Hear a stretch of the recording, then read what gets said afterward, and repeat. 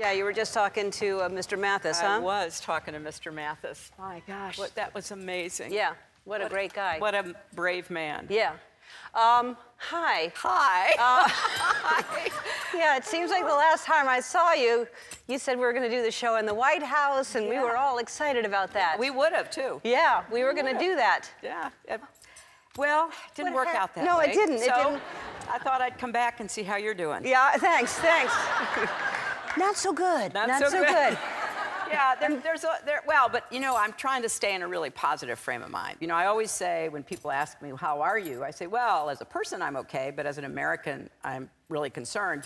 I'm a little tiny less concerned after Alabama because I think it was a great example of people understanding what was at stake and working hard and actually turning out and voting. Nothing is more important than that. Yeah. So it was that, positive. Yeah, that showed that. Um, so, so let's let's. I mean, you talk about it in your book, but but let's talk about. So you were here three weeks before the election. Yes. You were confident. I was. I was confident. A lot of people were confident. You.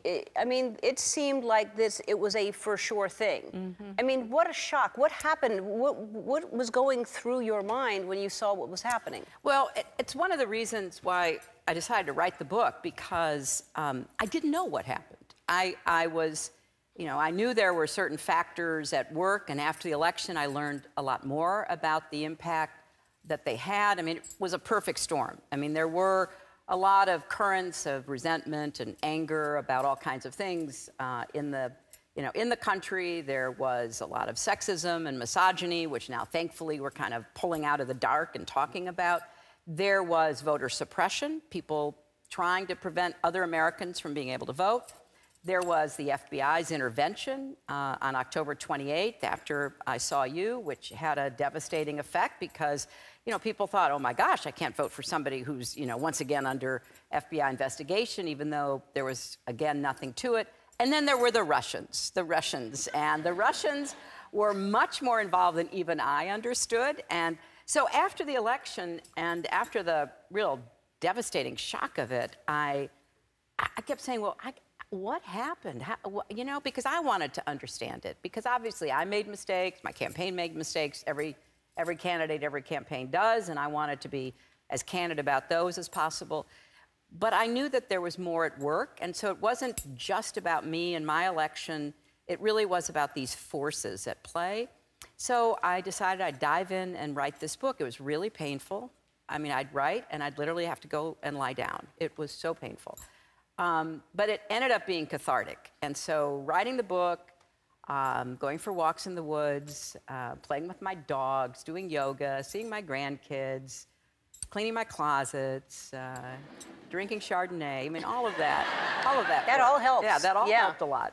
And and and during that time, did, I mean, is there any part of you now, or during that time, that you're just like, Oh, I'm, I'm glad. I mean, your whole life has been that. Yeah. So are you yeah. happy now to just be a person and, and have freedom? And because that must have been exhausting. It's great. I get to see my friends, my family. I get to, you know, do things that I really enjoy. On the other hand, I see things happening that I, I know are bad for the country. And, you know, one of the reasons I was so thrilled about Doug Jones getting elected is that all through his campaign, he talked about reauthorizing the Children's Health Insurance Program, something that I helped to start in the late 90s, which was totally bipartisan. And 9 million kids get their health care uh, because of it. And it's going to run out, and kids are going to lose their health care. So I was so proud and grateful to see somebody say, hey, we got to get this reauthorized. So I do see things that go on every day that really disturb me a lot. And obviously, I think, you know, I wouldn't have done that, or boy, I can't believe they're doing this. Um, so yeah, it does bother that me. That must still. happen every five minutes. It does. I mean, it, like, it does. Like that's why I, am on a kind of news diet. Yeah. You know, because I can't watch it all the time because I, I really do get agitated. Yeah. I mean, I yeah. can imagine. I mean, I it's I feel the same way. Like I'm I try to say because it upsets me so yeah. much when yeah. you see what's going on, and you can't write some of the stuff. You're just thinking if this was a movie, people would go, oh, that there's no way that would, and and it just continues to go on.